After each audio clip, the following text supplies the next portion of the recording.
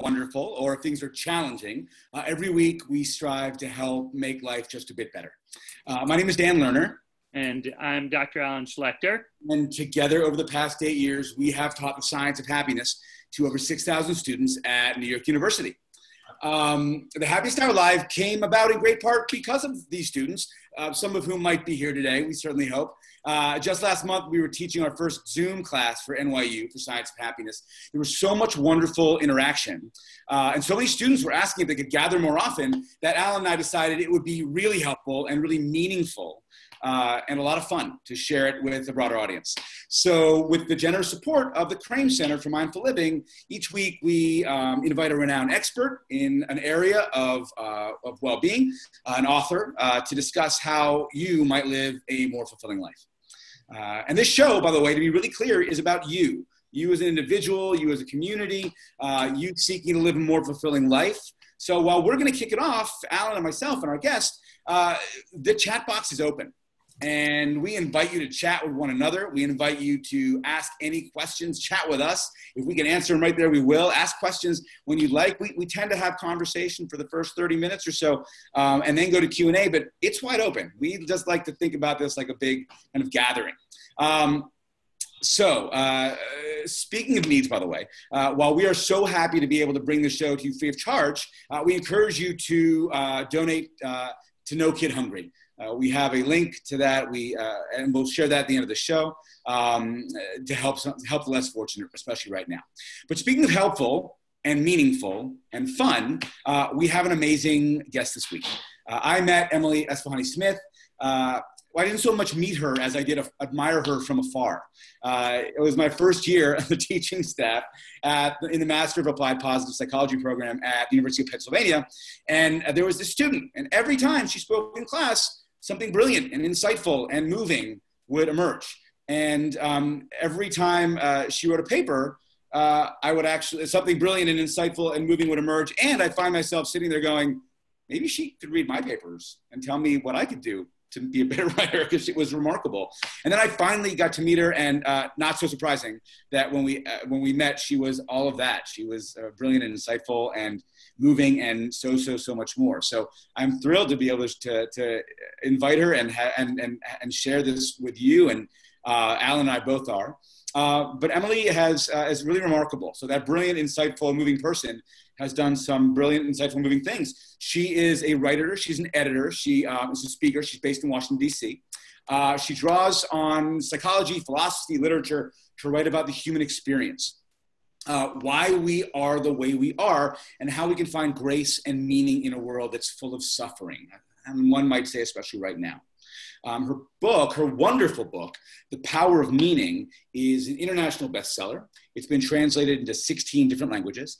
Um, she's a former editor of the New Criterion, uh, and her articles and essays have appeared in the New York Times, uh, the Wall Street Journal, the Atlantic, and other publications. Uh, there was a wonderful uh, um, article by Emily, I want to say it's no more than a week ago, uh, in the New York Times, an op ed about meaning, which we'll be talking about today but she's been on uh, NBC's Today Show, uh, CBS This Morning, NPR, clearly getting ready for her big moment on the Happiest Hour Live. And in 2019, uh, she was appointed journalism fellow at Yale University. She speaks, she writes, uh, she is everywhere. And today, uh, we're, we're so thrilled to have her here. So, to welcome a friend and a, and a really uh, remarkable human being, it's an honor and a pleasure to welcome Emily to the Happiest Hour. Thank you for being here today. Oh, thanks for having me. It's so good to be here with you. And I, you know, I remember very well the comments that you left me on my papers when when you were grading them and how um, helpful they were. So it's fun to have my memory jogged about that. Wow, we, we have such different experiences, Emily. Uh, because when I was writing with Dan, uh, I would have to hold on to the chair uh, before I opened my paper, like anything I had written um, and and I would just have a box of tissues, um, and I would. It was. I'm actually still in a recovery group, but I'm glad to see you had a different experience. Um, so we we often uh, start this show by asking a question to everyone who's with us, mm. uh, which is, what would you like out of your happier, happiest hour. What what what would you like out of the next hour? Why is everyone logging on? Um, and if you can open up your chat box and send a message, anyone, if you want to type, let's see what people are going to say. I'm going to I'm going to post something up there. Um, here you go. Shows Zach Gina right now. What would the outcome be? Interaction. Wonderful. Right. Positive. NCCEP. I often write inspiration as well. Uh, I think.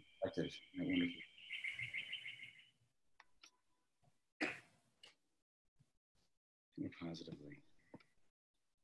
Inspiration. There's some, certainly some themes emerging. Emily, what are you seeing? And Grace Barrett. Yeah, so I think as I'm watching these responses come in, I think that um, there are a few themes that I'm seeing come up again and again. Um, one, one is like you noticed too, Alan, inspiration, and I think that that makes sense right now, just given how hard things are and how um, dire the news is um, and, and, how that can make people feel a bit uncertain. I can understand why people are looking for somebody to kind of lift them up. Along a similar line, the second theme I noticed is um, ways to be more positive. And I think, again, like it's so easy to get mired in negative thinking given everything that's happening, given the uncertainty, all the losses people are experiencing, all the fear. Um, so, those two things I kind of feel like are in the same bucket. Another is a desire for kind of connection and interaction. Um, and then resilience, you know, how can we be stronger in the face of hard circumstances? Um, what can the science teach us about how to find meaning during hard times? So we meaning is can feel like one of the more amorphous topics uh, that that we've talked about so far. Mm-hmm. Uh, it can be harder for some people to understand just how concrete it can be and what an amazing resource and in a way i don't know if you call it a tool um, and so i was hoping you could kind of tee off today's talk by by just kind of giving people you've done such an amazing job of making meaning more accessible to people. So maybe you could just talk about that for a moment, Emily. Absolutely, and, I agree. I, I, I, agree that meaning can be really amorphous, and we often use the term meaning interchangeably with the word happiness, with the word purpose. Um, and so I think it's, it is really important to get clear on what it means. And I, I think for me, what helped me the most was when I came across the book A Man's Search for Meaning by Viktor Frankl, the Holocaust survivor. Really good, you know, short little book. Highly recommend it to everyone here. And, you know, Frankl um, was a Jewish psychiatrist living in Vienna when the Nazis came to power. And um, I think in 1941 or 42, he and his family, including his wife who was pregnant, and his parents were taken uh, to a Nazi concentration camp. And, you know, three years later, four years later, when the war ended, he he had survived, but his his family had died. And he wrote this book within a year of being released from the camp, and it was all about his experiences in the camp and what he saw there. And what he saw was that you know there are some people there, some prisoners uh, who gave up. You know, they gave up hope, and that's completely understandable. It was really horrendous circumstances, nightmarish. They'd lost everything. Some of them had watched family members perish in the gas chambers. Um, so it's understandable to kind of feel despair um, given all that. But then there were others who continued to believe that their lives were meaningful in some way. And they, those who did, um, he found were like much more resilient in the face of suffering. And there's a ton of kind of modern psychology research that supports that, you know, what he kind of found more anecdotally. And he gives this exa- he gives a couple of examples that I think make make this really concrete. He talks about two um, suicidal inmates who he counseled whom he counseled there, and for both men, he said getting them to change their perspective on whether life was worth living was a matter of getting them to identify what their purpose was. And once he was able to do that, things changed for them. So, for one, it was the prospect of reuniting with his son, who was living in refuge elsewhere in Europe. For the other, who was a scientist, it was um, the, the hope of getting to once again work on this publication, this book manuscript that he had begun uh, before he was taken away. And, and so Frankl said, and he, he was paraphrasing Nietzsche, he said, you know, what I found was that those who knew the why of their existence uh, can withstand almost any how. And I, I thought, I think the reason why Frankl's work really um, resonated with me is because I think that for so many people, I mean, people, of course, we're like all suffering now, but um, you know, as the Buddhists say, like life in general is is suffering. It's hard. It's stressful. Um, you know, somebody said something here about like how how do you, Kevin like dealing with anxious thoughts is, is why is why he's here. And so I think all of us, in good times and in bad, are dealing with things. And meaning is really a balm. It's something that can kind of carry us through. You know, before you were talking, Alan, about how, um, before we all got on this, and we were talking privately about how meaning is like a life preserver. It helps us float through all this good and the bad. And so I think that perspective really helped me see concretely what meaning was and, um, and why it mattered. Oh, that was wonderful. Yeah, really beautiful. Yeah, you know, I'm curious, Emily. You know, you you brought up a word that I, I wanted to ask about earlier on, and you you, you talked about purpose uh, mm-hmm. specifically. That using that word uh, with Frankl. Can, can, you, can you talk a little bit about meaning and purpose, or their, their how they relate to one another? Yeah, definitely. And um, and as I was kind of talking about that, I, I had this kind of footnote where I wanted to come back to it. So thank you for for saying that. So Meaning, the way that I kind of understand it, based on what psychologists and philosophers, um, thinkers, great thinkers, modern thinkers, old thinkers have, have said, is it's really about um, connecting and contributing to something beyond yourself. Um, so it's this kind of broader category.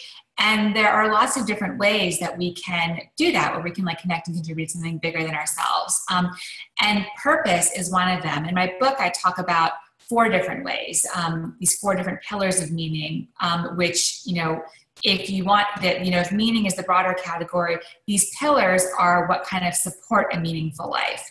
And so purpose is one of them. The other three are belonging, transcendence, and storytelling.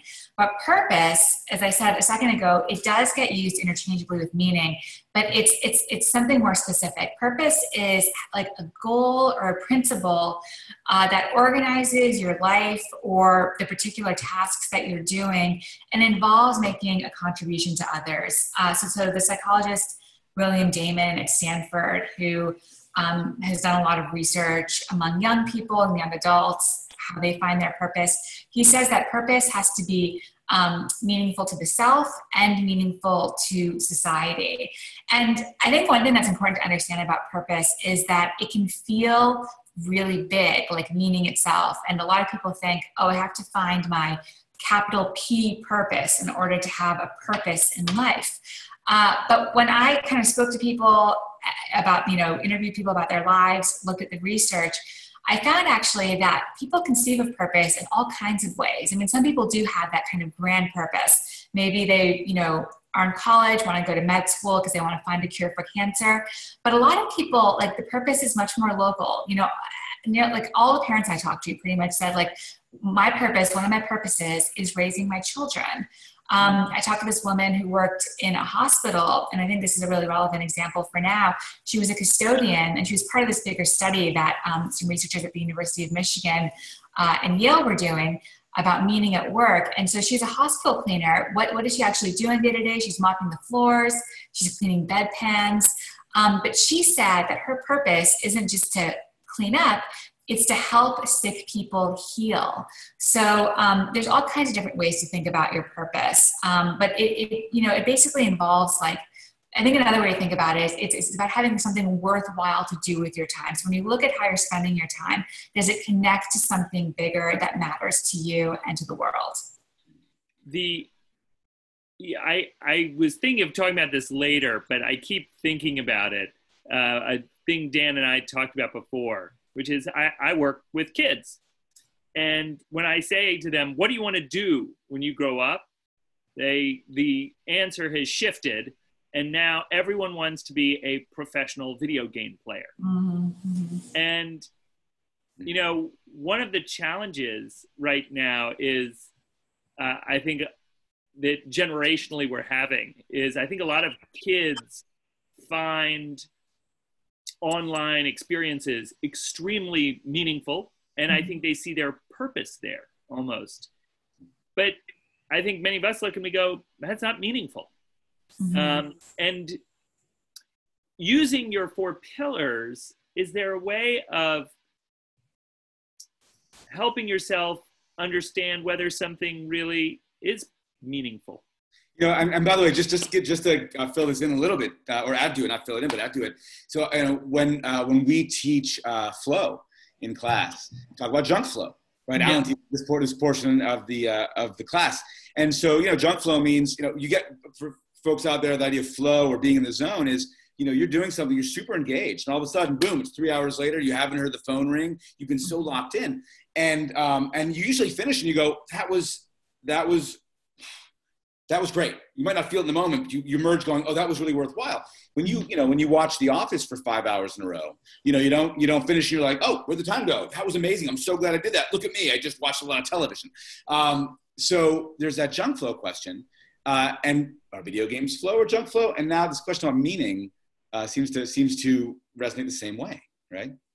Yeah no, definitely. I mean i think i guess the way that i would make sense of that is um, there is look i'm not i don't play video games at all so i don't want to dismiss what might be an actual actually like a really meaningful experience because i just have no experience at all with it. Um, but i will say you know to the point of like watching the office for five hours um, that you know that's i've been you know maybe not in five hours but i've been in like a situation like that where i leave and i'm just like that was a waste of time even though it was like engaging me kind of. I think that the experiences that, that one way that you can identify whether a, an experience is truly meaningful is if it kind of takes you outside of yourself in a way that is um, ennobling or elevating. Um, in other words it like brings you to a higher state of who you are. It kind of um, it, it, it, induces growth maybe. Um, i think those authentic flow experiences you know for me anyways you know often i it's, it's in my writing where i get there it's kind of like i know that Csikszentmihalyi talked about it in terms of like where your ability meets your um, uh, where the challenge meets your ability or something like that. Um, and and i think that's that's definitely true but i think also like one way that i've experienced it is where actually like my ability is being pushed so that i'm like growing while i'm at the same time kind of meeting the challenge. And so there's that part of it where like there's something more that's coming out of it and that's kind of bringing me into a higher state. So that's that's one way i would think about it if that's if that's helpful. Um, i mean i mean you know dan i know you have a young child. Alan you work with kids. Like does that if you give some kind of response to counter this claim that you know online stuff is not so meaningful how do they take that? Uh, actually i think you just articulated something for me that has been uh, in my head for such a long time. I mean junk flow activities uh, increase apathy. Um, mm-hmm. and somebody asked for mm-hmm. the study and I, I, can get that to you. Um, and and so that's one way of looking at it. But i think where meaning and flow intersect, there's going to be tremendous growth. Mm-hmm. Um, and and that way, I mean, meaning is such a phenomenal um, growth agent, mm-hmm. um, and that's just a wonderful way you just put it. Yeah, this this I, I gotta say, I think this this uh, I'd love to hear from from folks who are here on what they find meaningful yeah. like you know, if, if you could feel comfortable sharing that, and, and a few people have shared, you know, Alan, you, uh, uh Brandel, you shared how you're thinking about it. A couple of folks uh, mentioned some things, but for people who are right there, I mean, wh- what do you find meaningful right now? And if not now, um, not to, uh, if not now, like when was the time in your life uh, when things felt really meaningful for you? Mm-hmm. Mm-hmm. Yeah, just as those um, answers come in, I'm seeing just a question from Sydney Rubin. Hi, Sydney. Um, I um, she asked like she's read articles where meaning is broken down into purpose, coherence, and mattering. Um, is this the latest thinking? And yeah, so what, like in the kind of academic literature, um, they talk about meaning in terms of you know feeling like having three dimensions, feeling like your life is significant um, or has value feeling like your life has a purpose um, or like some aim that drives it and then feeling like your life is coherent. So i think that you know the mattering the, the framework that sydney cited is kind of on par with that. And this is the work of michael steger um, who's kind of the one of the leaders in, in meaning research. Yeah. Um, and and my i kind of you know took those ideas and with my pillars i'm kind of like getting at it in a different way i would say but i'm that it's I'm, I'm trying to kind of you know be true to that understanding of meaning so what is so what is coming up here for folks i mean knowing you're making a contribution development to something uh, or development of something right friends and family uh, spending hours talking to the people huh. helping people with disabilities being a good friend for friends in need right hmm. mm-hmm. Well, you know, Theodora just said, I felt meaning at my job working with little kids, I miss them. I- I'm curious, Emily, what do you see as the barriers for people? There, there are the concrete barriers if I can't get to the kids I work with, but mm-hmm. what are the barriers of connecting with your meaning right now in this mm-hmm. moment in history? Mm-hmm. So certainly, um, what's happening, you know, in the world of work, you know, some people, some people can, you know, transition seamlessly to a work from home situation. Um, I'm one of them, just because of writing. It's it's not.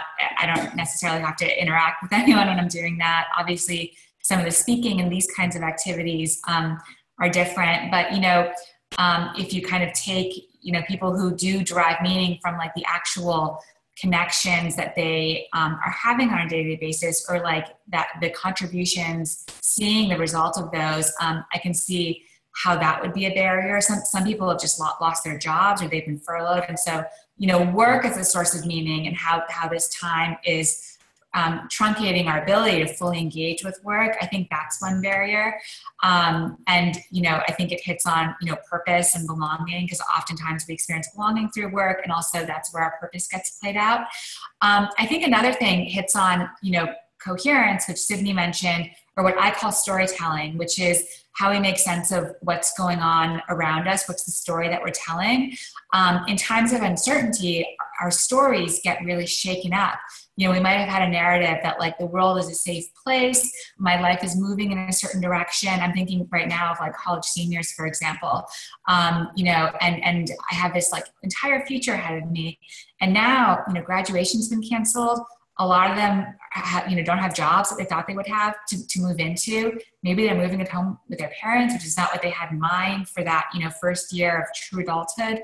Um, and so there's kind of this break in people's stories. And so how do you um, like how do you begin to rewrite that story or reconceive of like what your narrative is about like where the world is right now? So that's that's another one that i i, I see and have been thinking about a lot. Uh, a lot of people are actually bringing up their kids right now as mm-hmm. sources of meaning. And particularly for those of us with young kids i think what's really tricky is it's not only my story but I'm trying to help my kids and all the kids that I work with mm. uh, rewrite their stories. And so I would really love how do you help other people rewrite their stories? Mm. How do you do I that? Mean, you know, as a psychiatrist, like that's like, you know, that's that's the hard that, that's like really hard work as I'm sure as I'm sure you know. And so I feel a little sheepish um, you know, giving you kind of pointing to, to anything to you, but I'll just say what I kind of found um, that was helpful. I think, um, and this is from the research, and I would say it's also just from like my experience with you know friends who are telling a bad story or, or you know people that I love. I think that a lot of times, um, well, I'll begin by saying that we know from psychology research that human beings have a really strong negativity bias. So that when bad things are happening, it's much more likely to um, get kind of embedded into our minds and therefore into our stories. And we get so focused on the bad that we overlook the good. So in relationships, for example, if um, if you want to have a happy relationship, they say you have to have five good things happen for each one bad thing because the, the bad can like so poison the well that you need five good things to kind of undo that um, so so then what that means with our stories is that like we're much more disposed to telling stories that incorporate this kind of negative view of the world and it's not a realistic story because there's actually all these good things that are happening that we're not as aware of or aren't penetrating us the way the bad does. And so when I think about how to get people or how you can get yourself to rewrite your story, I would say like look for the good, look for the positive, um, and don't discount it. Like people say, oh, is this just Pollyannish thinking? But no, it's not. It's actually more realistic thinking because our, our brain bias is to kind of take us in the negative. That's the unrealistic thinking. So I would say, so there's two, there's two things that I would say. One is look for the positive, make sure that you incorporate that into your story. And the second is if you're telling a really negative story about yourself, like if you're saying things like, you know, my, like, this is awful. I, you know, my graduation was canceled. I'm never going to get a job. This is going to set me back economically, you know, for years. And there's kind of news stories that are talking about this. Um, you know, I would ask yourself, like, is, you know, what evidence do you have um, to to back up those claims? You know, that you're, you're catastrophizing. Um, and is there is there evidence? I mean, I graduated into the recession of 2008, 2009, and everybody said how like life for millennials then was going to be ruined. And actually, like, you know, millennials are doing really well. Like they, they're saving money. That the research is showing. They're like you know they're they're they're they're more prudent with their money but like things are going okay. So um, you know asking yourself like what is the evidence for these beliefs? Am i justified in kind of catastrophizing the way that i am? Mm.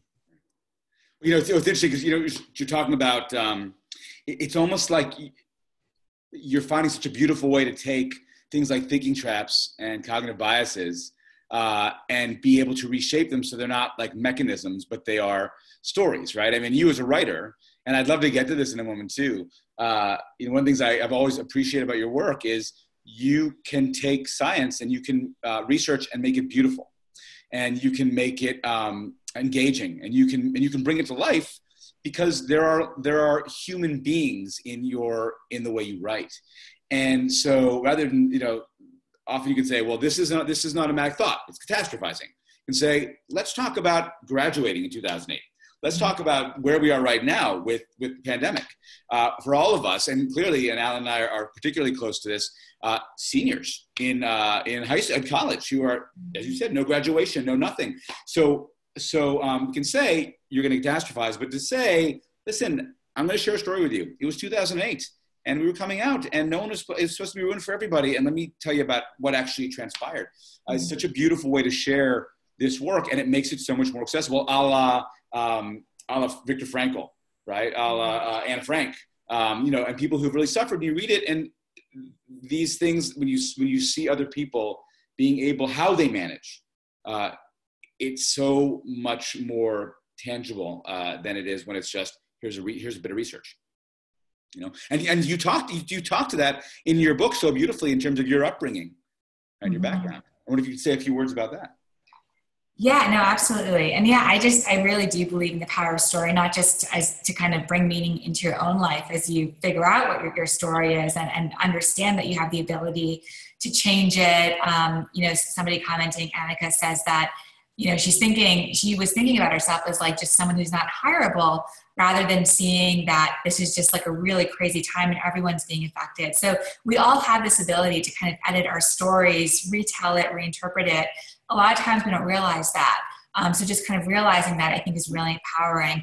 Um, and and for me you know my story when I think about how I came to writing about what I'm writing about and, and becoming interested in the things that I'm interested in, I look back, you know, with storytelling, what you're really asking is like, who am I? Where did I come from? Where am I going? And for me, where I came from, I um, I grew up in downtown Montreal, and my parents administered a Sufi meeting house from our home. Um, so, you know, the main floor of our home, so Sufism, I should say, for those who might not know, um, is a school of mysticism that's associated with Islam. The poet Rumi was a Sufi. Um, the Whirling Dervishes are Sufis. So it's this kind of um, spiritual practice, very centered on meditation, contemplative practices, um, very mystical in orientation. Um, and so growing up in the meeting house um, was probably the closest analogy I can think of um, that you know would resonate maybe with this audience is it was like living um, in a Buddhist sangha. There was um, on the main floor of our home. Um, there were no, you know, couches or anything like that. There was just kind of cushions on the floor. People would come twice a week in the evenings for several hours, and they would meditate.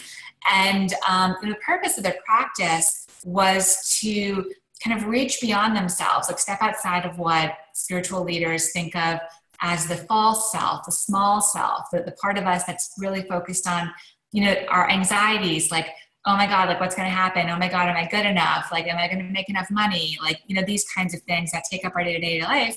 Um, and to connect with something higher, like to get in touch with um, the trans, a, a transcendent source of meaning, which you know, Sufis think of as God, other people might think of as nature, universal consciousness, things like that. So, you know, I was surrounded by people who um, were leading, had pretty, you know, were leading meaningful lives, had pretty clear sense of what gave their lives meaning. Uh, and I think that kind of, that stayed with me, um, that, uh, that example that they left for me. And it was interesting. I mean, and I think a big part of it too was that that was occurring for them having those questions answered was within a religious and spiritual context. Um, so that when I when we ended up leaving the Sufi meeting house and moving here to the States, and then when I went to college um, in a much more secular environment, I really began to wonder, you know, is it possible to find meaning outside of a religious context? What does that look like? Um, and that ultimately led me to, to studying like philosophy and, and positive psychology because it was kind of answering those you know, fundamentally philosophical and religious questions, I would say, but in like a secular way using using the science. So positive psychology, right? Um, you know, we had a couple of questions here. People asking about because you, you had brought up sort of retelling a story um, and uh, focusing on on good. What is what is happening that can focus on what's going well. I wonder if you can say a few things. Uh, if you can get a bit gran- more granular on that right? Uh, for the folks who are asking, and I, I, think they ask not not for only themselves, but for many people here, especially right now. Uh, I guess part of it would be how do you do that? And I'd be curious too right now because it's awkward, right? It can be awkward right now. Should mm-hmm. I really be finding good things out there? This is a really challenging time. Like, what's realistic and what's what's what's unrealistic optimism or unrealistic positive, you know, thought? Mm-hmm. How do we how do we find that? Do you think? What are your thoughts on? It? Yeah, so I mean, I mentioned Frankl earlier, and I'll, I'll mention him again. He has this idea um, in Man's Search for Meaning of tragic optimism. Uh, and, and the idea is that, you know, life is really hard, it's full of suffering, um, full of loss. And yet, in spite of that, it's still possible to find meaning, um, to find the good. I think he puts it in a way like this, where he says, you know, you can con- construct something positive despite all the negative. Um, so I think that's helpful because it acknowledges that there is a lot of suffering, and so you don't want to whitewash it. You don't want to, as you say, like kind of awkwardly deny the, the gravity of what's happening. Um, but it, it's still possible to find something positive. Um, and I think what's what's what might be helpful to, to understand too is that in the research on resilience who is most resilient in the face of crises and, and also as, as a separate matter who grows after a crisis um, the answer is that it's people who are able to find some kind of meaning um, in what's happening. Psychologists call this benefit finding, which is a phrase I don't really love because it, you know, it does sound a little bit dismissive of the hardship. But when you look more closely and you um, you kind of ask these people who are resilient, you know, what are you feeling? What are you finding? It turns out that they experience just as much, if not more, of the negative of what's happening. So they're just as despairing and anguished um, as the people who are less resilient, but they're also able at the same time to kind of keep some space for the good. So it's almost like their emotional reaction isn't um, to whitewash the bad. It's, it's, it's, it's a more complex emotion. It's to kind of contain both the good and the bad. Um, and there was a study that that um, was conducted after 9/11 that I think illustrates this in a more concrete way, where um, the researchers followed, I think it was a group of recent college grads or, or college-aged people um, after 9/11 um, for a few weeks, and what they found was that the people who were more resilient, again, like they experienced as much negative emotions as the less resilient people, but they also reported um, experiencing more, more um, encounters and experiences of love and gratitude, um, these kind of more positive emotions, positive experiences. And so I think I, I, don't really know if, if people kind of deliberately do this, where it's kind of a coping mechanism where things are hard, and so they are specifically looking for the positive, or it's just like a natural way that some people respond um, that, that others have a harder time doing. I, want to go back to something you mentioned before that's still been uh, in my head and I've been puzzling it out. You know, I love your story of your connection to Sufism and how that brought you to meaning. And and you mentioned nature along the way. And I also have a real connection to my uh, Judaism and and lighting candles on Friday night on Zoom call uh, with my family, and that's been really meaningful. Um, Your mother is here today, by the way. And, and, and, my mother is here. Well, Mr. Schlechter, it's good to see you. I know, and we had the first one of these on the first night of Passover, and the matzo ball soup was a little hot we were in some hot matzo ball soup that night. Um, but uh, I wonder, could you say why nature, or if you've read anything, why is nature so meaningful uh, and connecting with nature mm-hmm. uh, so meaningful yeah. people? So one of one of the pillars that I write about is transcendence, and that's a big word. Um, and maybe I should have found like a better word, but basically, what what that is is is these experiences where you encounters with awe and beauty um, where you feel like you're lifted out of that small self space that i was talking about earlier and are connected with something that's at a higher plane that's kind of mysterious. And you know a, one portal to that is religion spirituality you know another portal that a lot of people um, experience transcendence through is nature. Um, so getting outside, and there's like a really rich tradition um, in American philosophy of this with the transcendentalists, people like Henry David Thoreau, mm. um, Ralph Waldo Emerson, where they talk about nature as this kind of spiritual force that can take us outside of ourselves Emerson talked about how, you know, when he goes on walks, when he would go on walks in the woods, he felt like a transparent eyeball. Um, in other words, like his the boundaries of the self were dissolving, and all he really was with it was this thing that was kind of like perceiving um, the beauty around him, but wasn't like separate from it. Um, and so I think nature has an ability to do that. I think part of why it can do that is because it's so grand and big and, and can make us aware of our own smallness. Um, and that can be like a terrifying realization. Um, you know, the word awe has the same root as, as the as the word awful. Um, so it can be really terrifying to kind of come into contact with um, how puny we are. But but people who have these kind of transcendent experiences in nature also say that even though they felt so small, these experiences were among the most meaningful ones of their lives because even though they felt small, they also felt connected to something much bigger and more mysterious. Um, so I think there's there's that kind of paradox there that nature can take us outside of ourselves to make us feel connected to something so small, even while making us feel um, the puniness of our existence. Emily, you just like exploded my head. That was so, uh, but that connection between the awe and the awful for, for me, just sitting on a beach uh, and looking at the ocean has always been for me a great way to connect with something greater because i'm also a little scared of it mm-hmm. um, it was um, it's the ocean is frightening to me a little bit um, mm-hmm. but it, it also fills me with something else and and that connection with those two things and how we connect with transcendence that way is such an interesting idea something that big too by the way you know brings me to mind of passion. And you know i love the research on passion alan. And you know um, whenever i talk whenever i teach passion talk about passion you know a lot of people think oh it's love. It's something that we're compelled to do that's wonderful. And sometimes someone will raise their hand. I mean someone will always get to the idea of what if it's a passion for something negative? And every once in a while someone will go well the passion of you know in the bible is actually a really painful thing mm. right? So knowing that it comes from this, this really this suffering, but also offers this opportunity. It's sort of, uh, as you said, with the ocean, it's so gorgeous, and that there's a little something there because it's so un, un, incomprehensible in a way.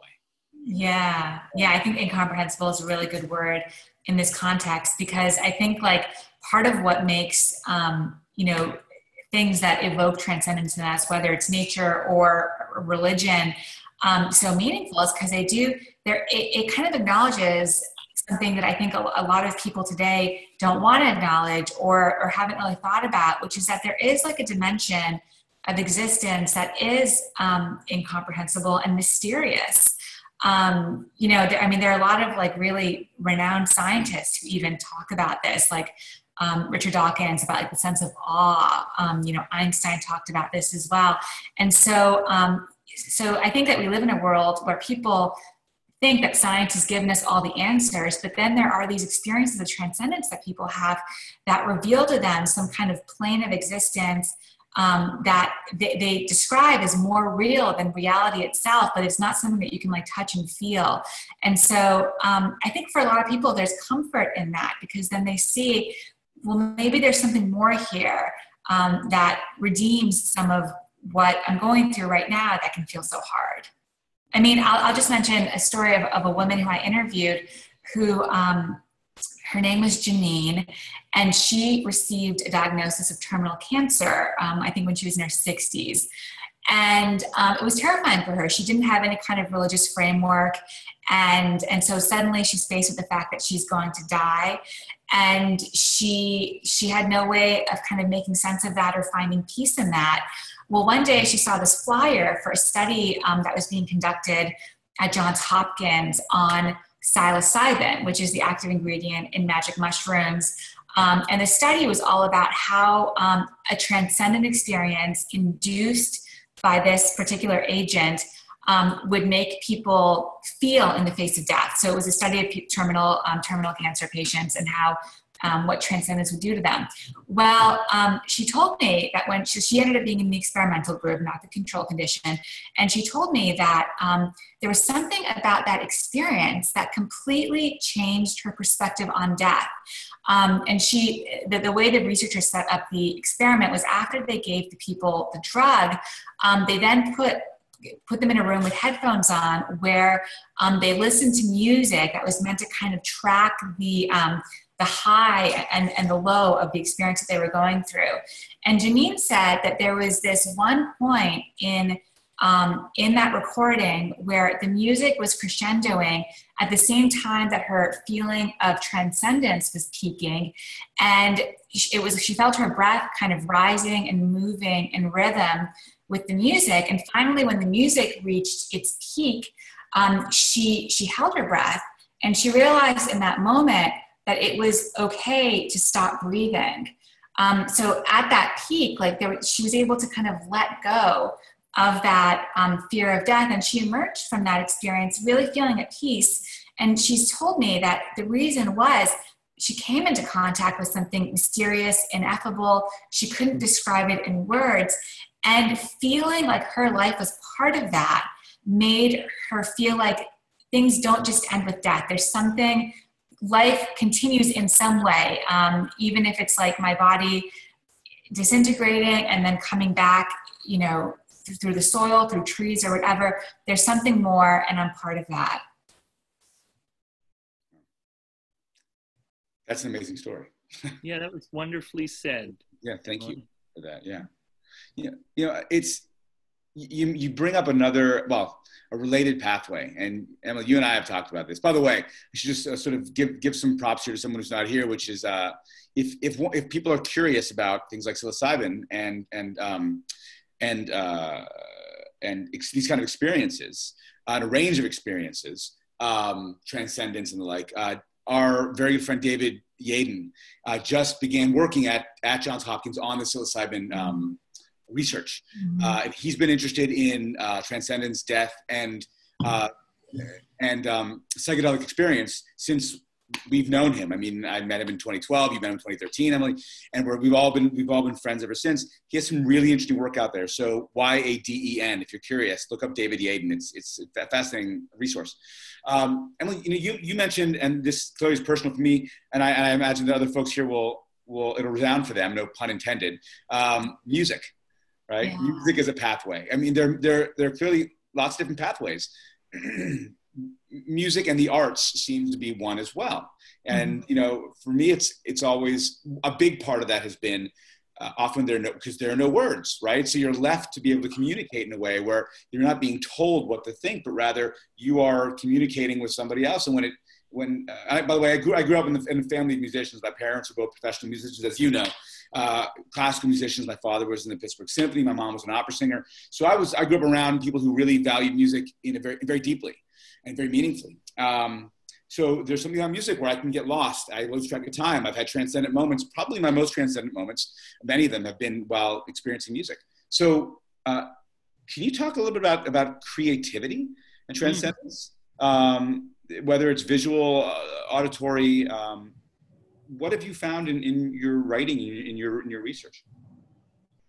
Yeah, I think I think yeah, the arts are absolutely um, a way that people can experience transcendence, and I think um, so. Creativity. I mean, I think there are kind of two sides to it. One is like if you're the person who's you know consuming creativity, you're listening to a piece of music, you're, you're, you're viewing a, a, work of art, and I think that. Um, it can evoke transcendence in two ways. One is just awe at the um, at the achievement that somebody was capable of producing this this phenomenal work of art um, you know of what human beings are capable of.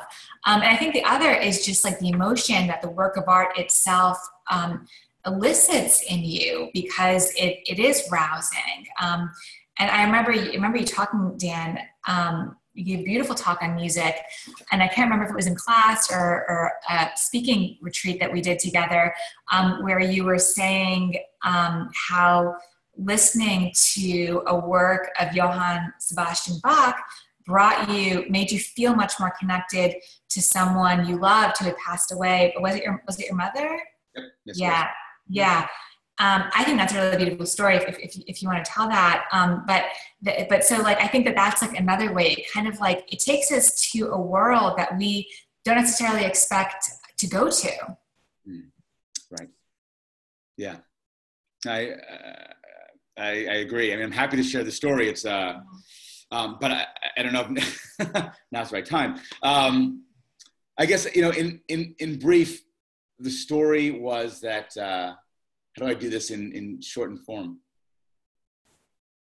I was standing in the kitchen in, in New York in my old apartment uh, one day and uh, one evening and just listening to music. And I listened to a lot of Baroque music. It was my father's favorite. I grew up on Bach and Handel and all those kind of, uh, those old guys.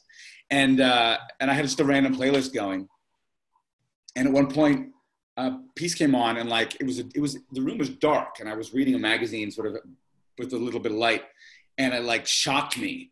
And I just heard these first notes, and they were just super simple, and I just froze. I was standing up, I froze. And um, as the song went on, I was um, I started to cry, and it was an incredibly simple song. And I and, and I started to cry harder, and then I was weeping by the end. And right before I knew it was going to be over, it's like a two and a half minute song uh, or piece rather. I was just fully flooded in tears, and I dove over to my computer because it was on an a- Apple playlist to hit pause just to see what it was, and it was um, it was a piece by Bach, and I called my dad immediately, uh, and I, and I, and I said, listen to this. And my dad, Bach was his favorite composer. He said, um, sweetheart, that's, that's not, that's not Bach. I said, dad, it says it right here. It's Bach. He's like, mm-hmm. you know, Daniel, I, I know my Bach. That's not Bach. Right. And I had everything in triplicate. I had everything he'd ever written, you know, grew up with it. And, uh, and I was like, fine. And I hung up and, and I started looking around for it. And I couldn't find. I couldn't find it. And I finally, I found it. It was over at the Lincoln Center Library. And I went over to talk to my librarian. And uh, she helped me find this piece. And um, it was entitled, and there are not many titles on a lot of Bach piano pieces, on the departure of his beloved brother. And it was um, written when Bach was very young, and he was 18, and his brother was about to go off to war. And it was pretty clear to me from this that he was afraid that he was going to lose him and never see him again. And it struck me when I realized, you know, what was it that moved me? That you know, my mother had passed, um, I can't remember, maybe maybe a year before, six months to a year before, and it hit me in that moment that from 300 years ago, this man who I have nothing in common with reached out across time and basically put his hand on my shoulder and said, You are not alone. Mm. There is someone who heard me and who felt me. And I think for me, that was, it was one of the most extraordinary moments I've had with music. I've had other moments of music and I've, I think I've realized, oh, we kind of get each other. You're speaking mm. to me now. There's mm-hmm. a different language here that words wouldn't do justice to. And so that was that was my experience uh, for sure. I, mm-hmm. I, I, take uh, great pleasure and um, I get teased by his mother, but uh, Julian, my son, and I, you know, we cry a lot when it comes to movies and particularly music. Uh, I'll find him crying over a piece, and two of us will like be slumped over, like weeping together, and Aaron would be like, "What's wrong with you guys?" Mm-hmm. You're like, and that for us, that's the language. Yeah. So, yeah. Yeah. So it's such a beautiful story. And I think like it yeah, it makes me think of two things. One, the point that you said about how music is particularly conducive to communicating the, the mysterious because it, there's no there's no language. There's no language there. And i think that there's something similar going on in meditation experiences in nature that it's just pure being and coming into contact with that is really powerful. Um, and then the second thing with art is how it can make you feel less alone in the world. It kind of like and i guess i think stories are like this too. It, it like represents your own experiences back to you but in a way that allows you to actually find more meaning in it. There's a lot of studies about how when people read um, novels or, or whatever part of what they're doing is making meaning in of their own lives while they're reading the story because they're kind of processing their own story through the story that they're reading. And you know people say like if you go back and you read a novel again and again over the years what it what you um, what you take away from it says more about like where you are in your own life um, than what the novel's actual story is because that remains static but your experiences change yeah. i wonder if, I could just ask just just for a moment if, if people feel comfortable doing so i'd be curious to know what um, what piece of creative of, cre- of creative uh, anything music art dance um, uh, uh, uh writing uh, poetry is, is there something that stands out for someone here that that a moment in their life uh, that brings them back to a particularly meaningful moment, or it was a, it was a meaningful um, performance. It was a meaningful um, creation that spoke to them. While people are writing that, I'd just like to point out, uh, Dan, uh, what you brought up in the creativity, and Emily, how you explained it uh, so wonderfully, and Dan, in your story. I think it's such a concrete exercise for all of us. Um, I have, as you were telling your story, Dan, uh, I was thinking something I've done since the beginning of this is I've taken out my father's old records. Mm. And right. and that connection, my, my father is sadly not with us anymore. But when I'm listening to them and I'm thinking, he listened to these records, mm. he heard the same staticky, chalky sound. And music is still accessible to us. Uh, and the idea of taking that time, all of us can in any day, experiencing the music, sharing it with people we love, is one way of creating some meaning right now. Mm-hmm. Yeah, yeah and the, the connection that um, that it brings. So it's like the music isn't just um, an opportunity, a way to experience transcendence, but actually, you know, belonging, like, a, you know, that, that feeling of not being alone, of feeling connected to someone that you lost or to, to another person who you're sending music to or whatever. I feel like there are like the friendships, like we all have the friendships that are, you know, they're, you know, especially intimate when you can just like send songs to one another. Cause it's like, you're sending a piece of your soul almost, you know, it's, it's so kind of deep and, and, and an intimate thing to do. I wonder if right now is actually a particularly I mean, that's that's a pathway that's available to a lot of us. Um, you know, someone uh, texted me privately, although I don't know if he meant to do it privately or not, but he wrote um, cooking great meals that bring back memories. You know, everyone who's written something. Well, I mean, someone wrote a performance of the Met. You know, we can go back and and and and find a video potentially of Jonas Kaufmann singing Parsifal at the Met. What is the book that meant something to you, or that someone mentioned music that means something to you, or records? We're not going anywhere right now. Mm-hmm. Uh, to be able to find that experience, it's not like I won't be home in time. You know, mm-hmm. um, can we find a little time to like sit, even if it's for half an hour, and just I'm going to go be with this now, or and actually share it with share it with our family. You know, the moment to say, let me tell you. I've told I told Julian a few stories. Uh, some of them are music based, particularly to say, you know, let me tell you a story about this this performance I saw and what happened afterwards, and you know, and it was really uh, it was it was a moment where we could come together over something meaningful too, because he's a, he's a young musician, and you know, mm-hmm. so how can we relive these? It might be more available both for our time perspective and also because they're at our fingertips potentially. You know? Right, and, and Sidney Rubin just said uh, he said I feel like the loss of concerts in this pandemic is a huge loss, and it's true. You know, so much of what our talks have been about is uh, it's the word I've been using again and again and again is finding the in this case the micro meaning you mm-hmm. know the you know we we can't have the concerts but i'm going to listen to a record mm-hmm. um, and share it uh, with my wonderful wife um, and and my kids and i will have my micro dose of meaning right now mm-hmm. I think people are getting better at it too. I got to say, I don't know if anyone caught the Sondheim 90th birthday performances the other day, but you know, they're cobbled together. I think it was I don't know, I think it was Meryl Streep or somebody who had bas- oh someone well known had basically a curtain behind her, and you're like, there's a curtain behind her right now, like sewn together with paper clips or something. Um, it didn't matter. It was so wonderful, and it's this live performance, and you're not in the hall, you're not with other people, um, but there is something about that that's people are trying to, to copy. Yeah, and of course, like there's those stories um, of people in Italy like singing to each other. Um, so there is there, there's something about and i think it's just so beautiful i mean it shows like the resilience of, of, the human spirit and our yearning for, for meaning and you know you mentioned alan that there are these kind of micro moments and i guess that was one of the things that surprised me most in like the research i did and the people i interviewed was that you know you think that it's like meaning is this big thing that you have to you know climb a mountaintop go to a monastery whatever to find but actually like day to day even when life is normal and it's not crazy and, and tragic the way it is now i think what people do is like the way they find meaning is in these kind of local and little ways that you know mm. on their own might not seem like much but when you add them together they really like they can light up someone's life. Right. Exactly and you know it, it's such a beautiful way. I don't want to bring this to an end, but it's such a beautiful way to to bring our hour to a close, to make things available, to think about things that we've had in our lives, think about ways we're sharing with people right now. While we not might not, no one would choose to be in the situation. How do we find something meaningful in this situation? Yeah. Um, so you know, uh, but before I thank Emily, let me just sort of say to everyone here. Uh, thank you for all coming.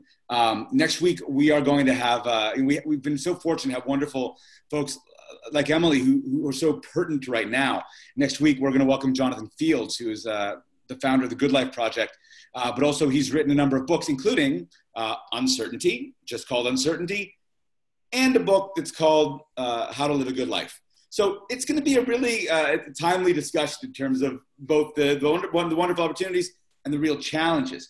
Um, uh, keep your eyes peeled for an email about that. But also, after this is done, if you stay on, we'll have a framed up um, uh, way to register. You can also go, and this just went live today, to www.thehappiesthour.org, um, and we will have both recordings. So if you want to go back and catch Emily's and this this whole conversation day, it should be up by Monday, I believe.